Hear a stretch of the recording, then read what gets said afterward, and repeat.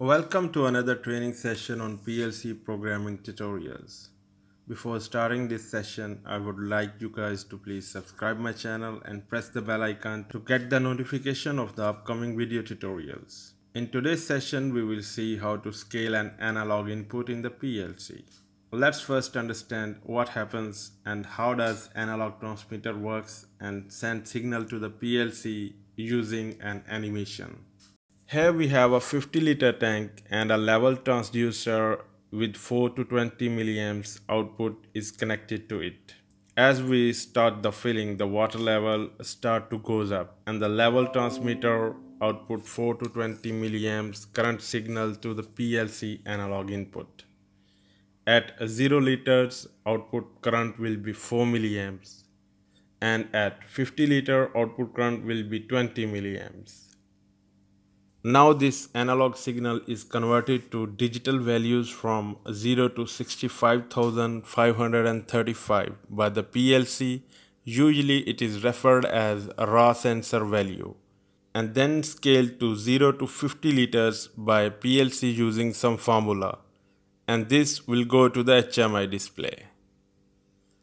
Now let's discuss how we can convert our, raw values coming from the level transmitter to the scale level tank value in the liter. One important thing, the tank level in liter is also called as engineering values.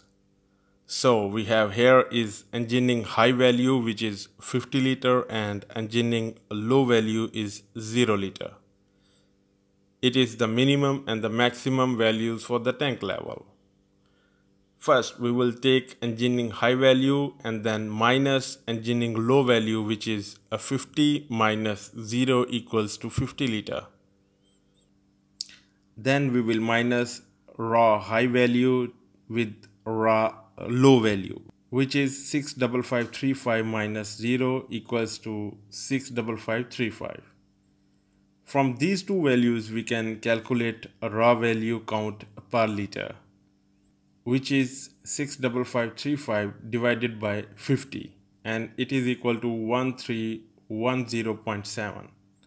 Now this value 1310.7 is the raw sensor value per liter water in the tank.